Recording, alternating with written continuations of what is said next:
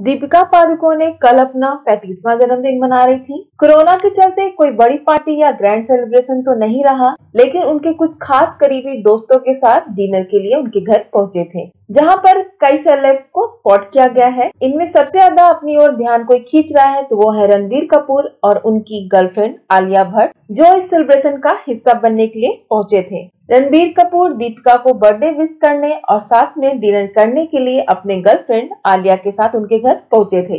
इस दौरान रणबीर कपूर ने व्हाइट शर्ट और ब्लैक पैंट पहना हुआ था। वहीं आलिया भट्ट ने भी उनसे मैचिंग ड्रेस पहनी हुई थी। उन्होंने ब्लैक कलर का आउटफिट पहना हुआ था।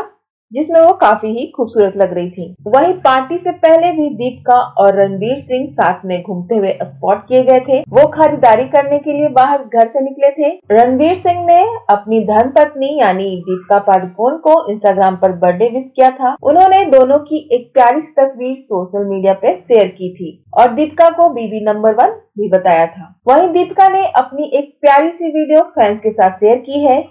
जिसमें उनके बचपन की तस्वीरें भी दिखाई गई हैं।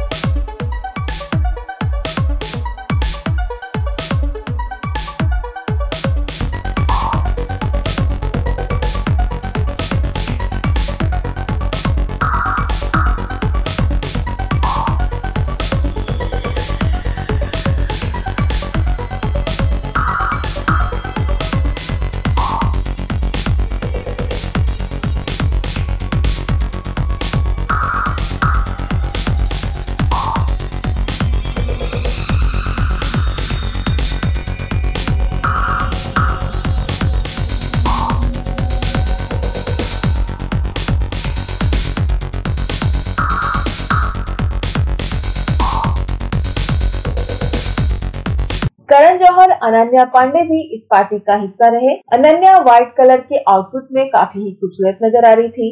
तो वहीं करण जौहर ने भी फोटोग्राफर्स को जमकर पोज दिए।